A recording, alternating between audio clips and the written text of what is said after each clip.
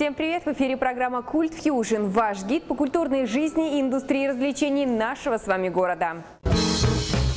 Киноконцертный зал «Панорама» продолжит удивлять тверичан и в новом 2020 году. Как?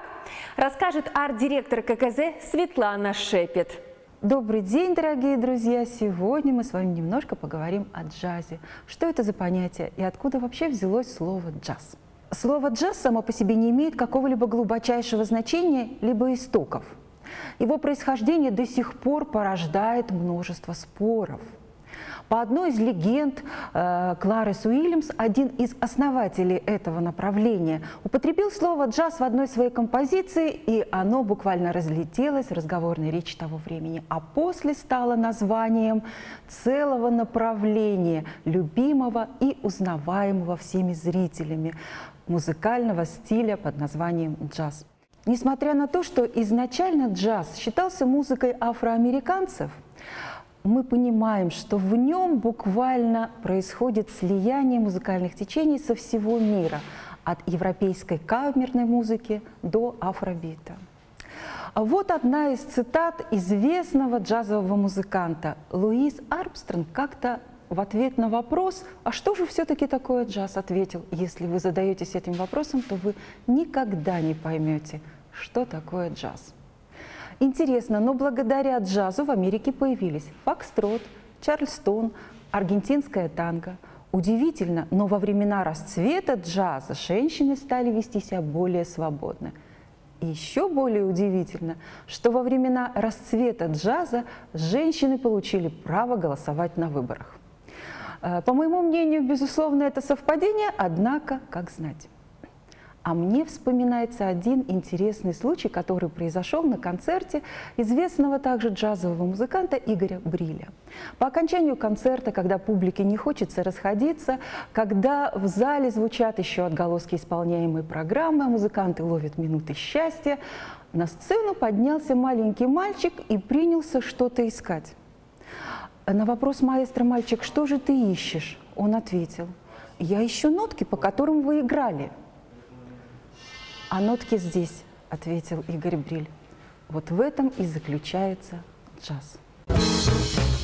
Для всех нас Новый год начинается с новых открытий. И вот уже совсем скоро, 25 января, бизнес-центр Тверь преобразится в креативное арт-пространство. Жители города и гостей э, Твери ждет встреча с солистами ведущих симфонических и джазовых э, оркестров России, певцами, композиторами, Авторами литературных бестселлеров.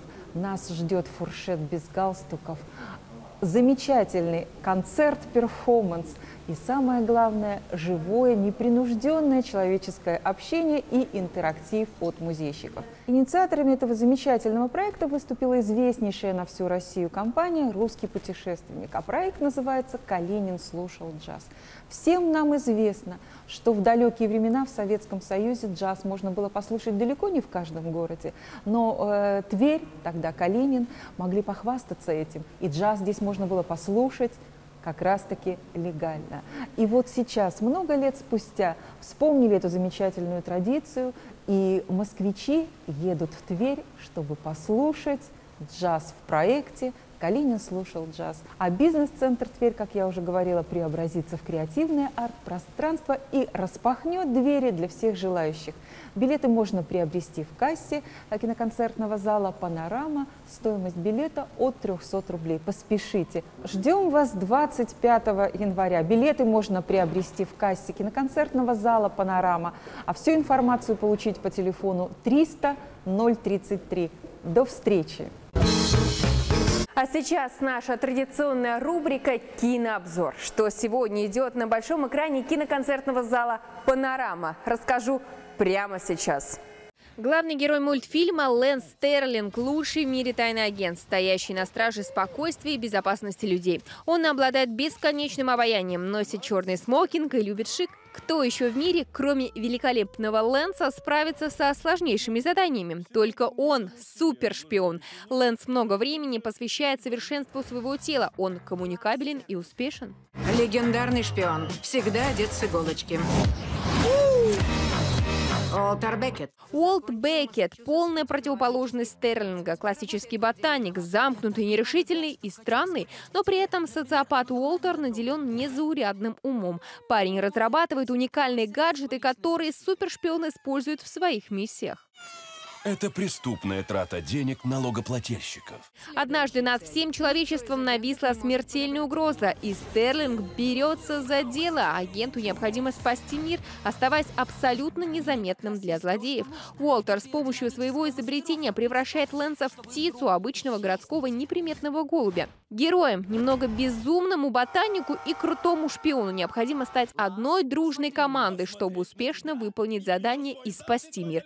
Посмотреть премьеру мультфильма можно на большом экране киноконцертного зала «Панорама» на Смоленском, 29. Заказ и бронирование билетов по телефону 300 033 или на сайте panorama-тверь.ру. Возрастное ограничение 6+. Фильм «События». Его будут обсуждать и о нем будут спорить, потому что, казалось бы, попытка восстания на Сенатской изучена вдоль и поперек, а все равно темный лес вопросов и тайн. О людях и интригах, которые перевернули ход русской истории. Кино основано исключительно на исторических фактах. Уважайте, Ваше Высочество. Государь-император умер.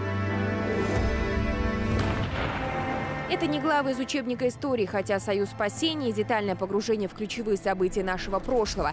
Это в первую очередь кино о каждом из нас нынешних, потому что даже сквозь века люди не меняются. И вчерашние герои войны с Наполеоном, благородные освободители Европы, становятся бунтарями, как Павел Пестель, самый радикально настроенный зачинщик восстания.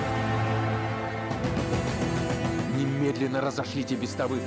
Поднимайте все неприсягнувшие части. Здесь все происходит на глазах у зрителей. Мысли превращаются в поступок, а эмоции хлещут через край, лишая чувства самосохранения. «Союз спасения» – фильм, созданный для кинозалов, где ошеломляющий звук передаст неожиданное музыкальное решение ленты, а большой экран позволит прикоснуться к одному из ключевых событий нашей истории. Заказ и бронирование билетов ККЗ «Панорама» по номеру телефона 300 033 или на сайте panorama-тверь.ру.